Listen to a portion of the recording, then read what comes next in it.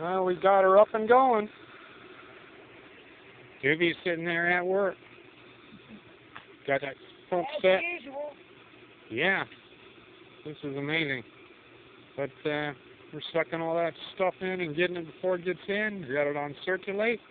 Once we get all that crap out, I can start filtering it. This is another instructional video by Doug Stillion.